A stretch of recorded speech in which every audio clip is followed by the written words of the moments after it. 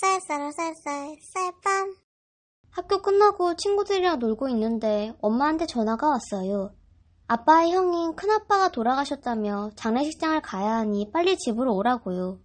큰아빠는 명절 때마다 큰 집에 가면 저와 언니를 웃으며 반겨주시고 용돈을 5만원씩 주셨던 분이셨는데 얼마 전부터 몸이 많이 안 좋으셔서 병원에 입원해 계셨거든요.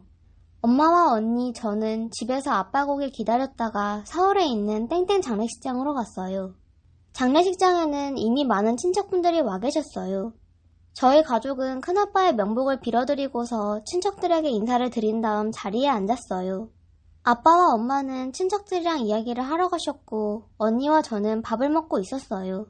한참 밥을 먹고 있는데, 언니가 갑자기 자리에서 일어나더니, 큰아빠 영전 사진 쪽으로 가더라고요. 저는 그 모습을 보고, 언니가 큰아빠 생각이 많이 나는가 보다, 라고 생각했죠.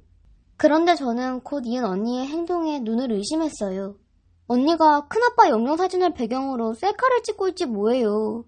그것도 눈물 셀카를요. 그리고 저에게 와서 어느 사진이 났냐고 물어보고는 SNS에 그 사진을 올렸어요.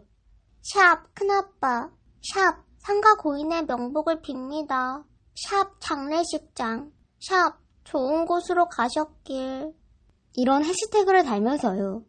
제가 SNS에 그 사진을 왜 올리냐고 물어보니까 슬픔을 SNS 친구들이랑 공유하는 거라고 하더군요.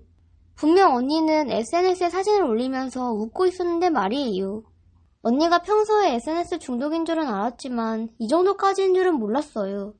장례식장에서 셀카는 뭐 추억용으로 찍을 수 있다 쳐도 그 사진을 SNS에 굳이 올릴 필요가 있었을까요? 그것도 해시태그를 달면서까지요.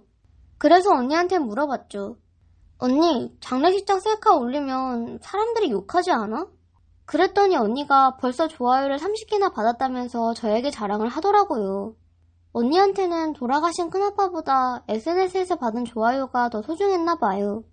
제가 SNS를 자주 안 해서 그 감성을 이해하지 못하는 걸까요? 물론 추모하는 방식은 사람들마다 다르겠지만 안 슬픈데 슬픈 척까지 하면서 SNS에 사진을 올리고 좋아요를 받는 건 좀 아니지 않나요?